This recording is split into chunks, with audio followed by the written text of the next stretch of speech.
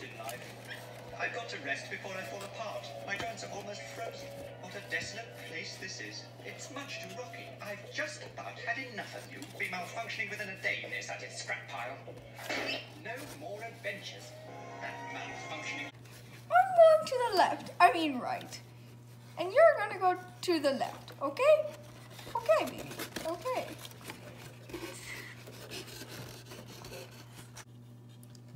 Oh no! There's rogue stormtroopers!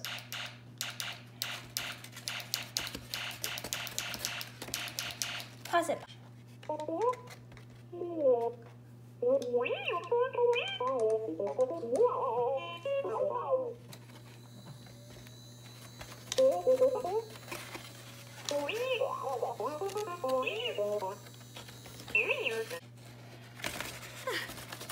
Oh, I'm so glad I found you, R2D2. There was too many rogue stormtroopers the way I was headed. I would agree. I would agree with you.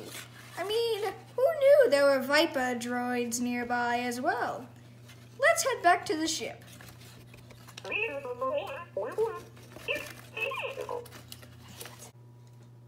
Hello, I am C3PO, Cyborg Humans Relationship.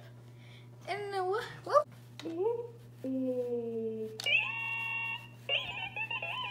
He said this is BB-8.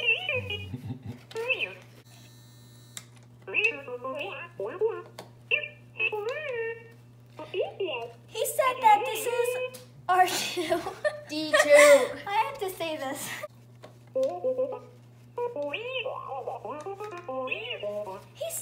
He said that this is BB-8. I mean, this. Oh God. I knew she got- Well, I'm going to go to the left. I mean, right.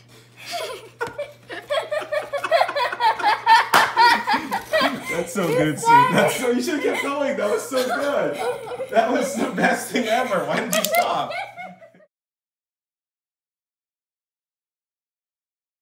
Thank you for watching a Star Wars story told by Shadow Puppets.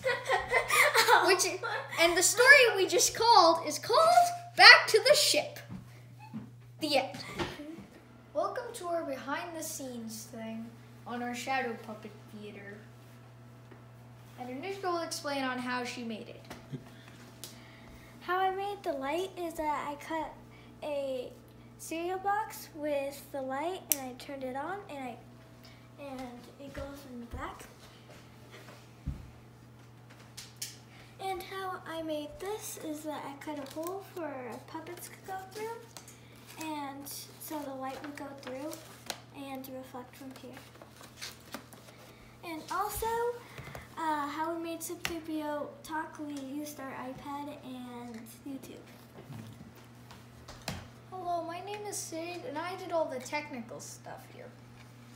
So, how I made the gun sound is I used some snap circuit bits and and I press this button, and it makes the gun sound effect.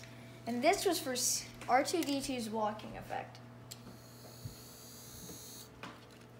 And our BB-8 buddy here, we used him for for the droid's talking bits.